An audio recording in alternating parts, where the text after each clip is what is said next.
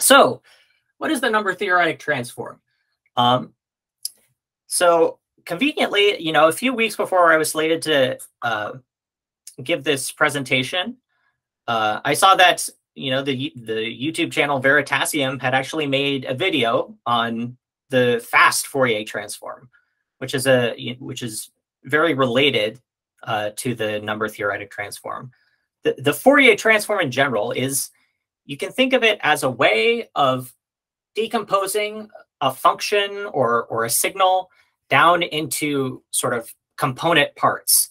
In the case of the the Fourier transform, the traditional Fourier transform, those are sort of these sine waves um, that you can see here.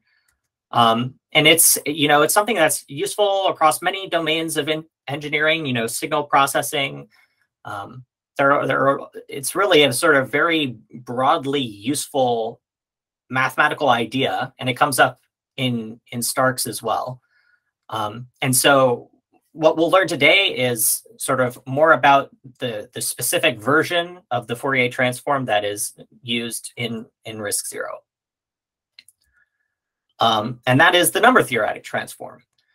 So the Veritasium video also mentions briefly the, the so-called discrete Fourier transform, which is the idea that, you know, if you're working on a computer, computers are sort of these digital machines that uh, take in discrete data, they discrete chunks of data. And so instead of a continuous signal, um, a computer is only going to see, you know, a bunch of samples out of that data.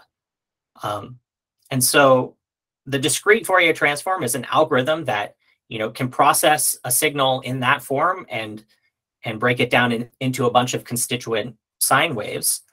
Um, the number theoretic transform is sort of a, a, modified version of the discrete Fourier transform, but with two big distinctions.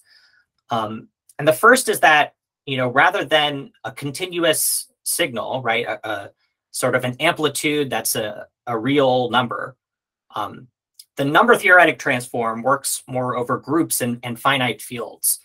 Uh, so if you came to the, the study club a couple of weeks ago, you know, Paul introduced you to, to finite fields.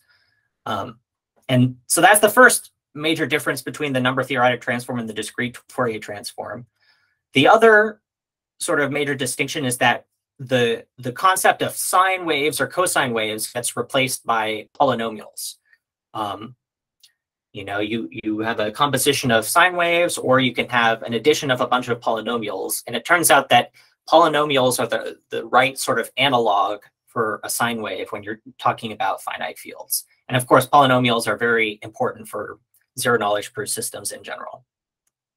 And so um, I imagine some of you have come to the talks on, on previous weeks on these, but uh, you know, Paul has some uh, nice YouTube playlists that sort of go over these things if, if you want to go over those.